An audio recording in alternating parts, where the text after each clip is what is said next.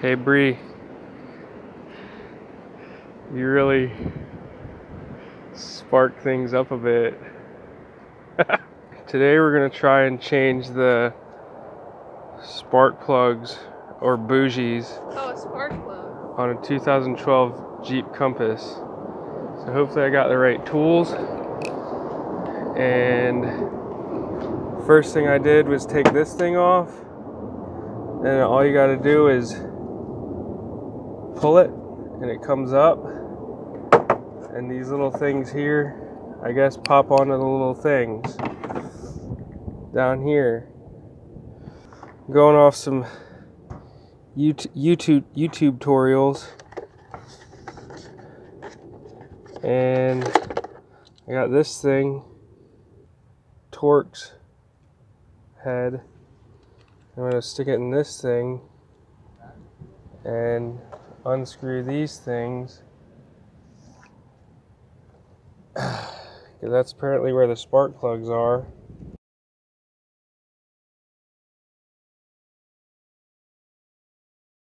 The people at the dealership told me that spark plugs costed $68 and I told them no I just bought these from the store for $11 and then they were trying to charge me $200 for parts and repair and if I don't electrocute myself then I'll save myself some money so I heard you don't have to take these things off, and if I don't need to, I'm not going to.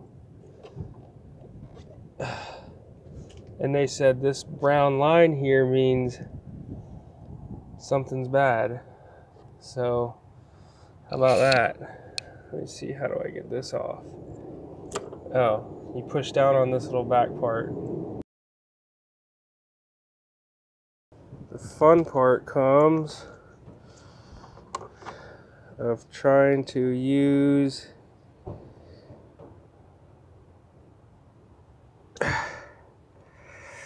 the crap that most people have compared to what your friend that fixes cars has. I don't even know if these are the right thing or not. So, that sure shit ain't the right thing. That sure shit ain't the right thing.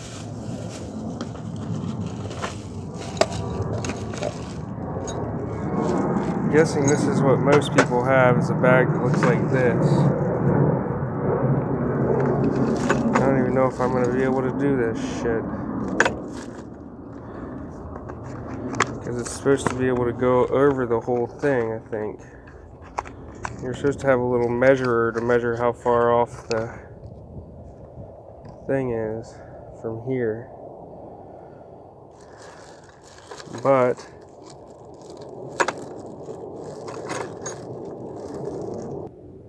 well, that sucks.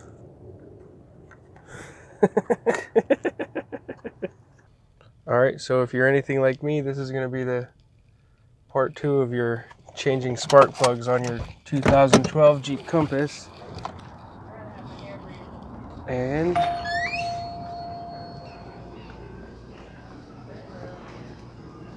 I got drones here. Hey, how are you? Um, I need the uh, super cool socket that allows you to take out and put these in your car. I have ones like that, but I think it's too wide to fit in the little hole. Is there like a skinnier one? This one looks like it might. We got that one, but most of our spark plug ones are gonna be right here. Okay. These are most of our spark plug sockets right here. This one is uh 16 millimeter. See real quick, the armor. I like the tape job they did. Okay, so Oh, first we have to now we screw it, right? have this thing here that we just bought at the store. 16 millimeter. It's a actual thing for the thing. You better stop it.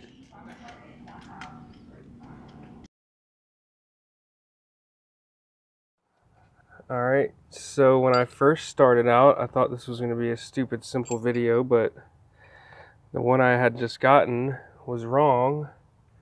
And you have to make sure this one is a 3 8 on this end, and this is 5 8 on the socket that you get.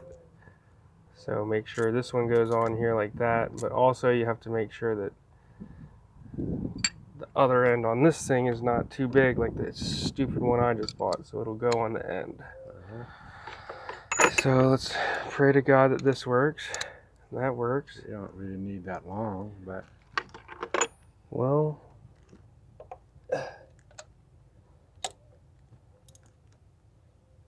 and lefty, Lucy,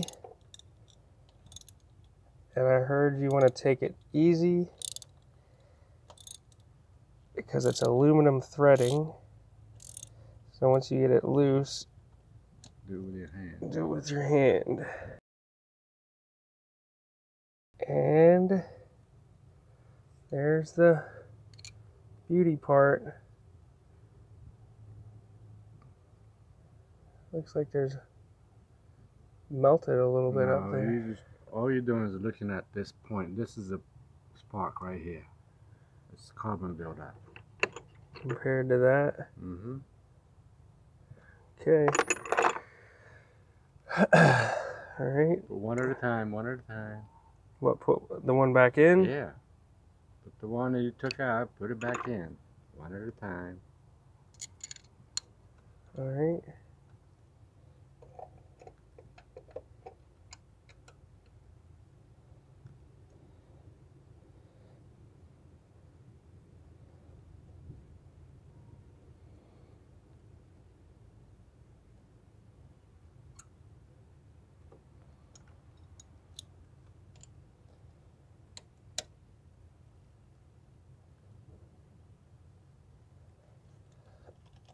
Right.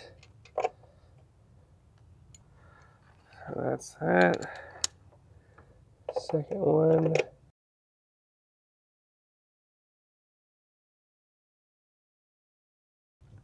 All right. All right, number three.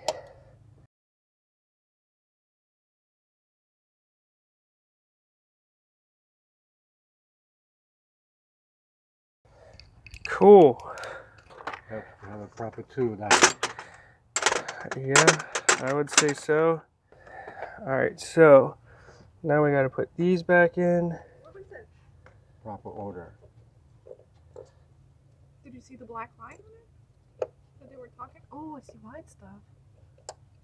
Where? It's spark Is that the white stuff that they were talking Yeah, So that's what, the one thing he said it could.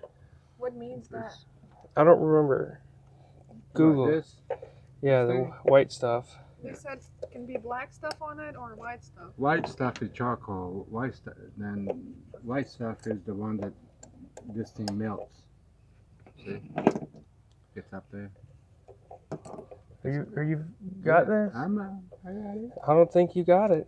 What do you mean I don't? I just looked at it and it was on there crooked.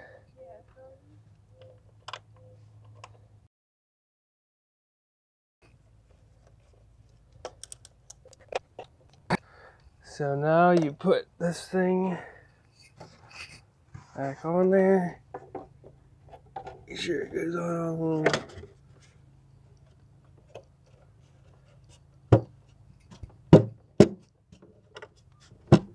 knobs correctly. And hold my beer.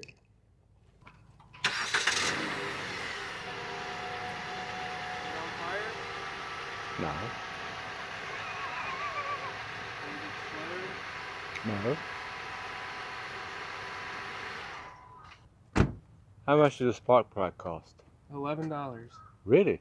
And I asked the people at the dealership how much they cost, and they said Uh, like sixty-nine dollars. Yeah. Fucking Deal is a rip off anyway.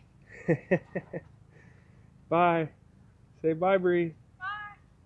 Thank you for watching. Okay, so I just wanted to do this video because uh, first off, I have the best mechanic in the world. So if you're ever in the Hampton Roads area and you need a trustworthy mechanic uh, that's not going to rip you off, you should uh, hit me up. He, he's so good he could uh, make millions of dollars by starting his own YouTube channel.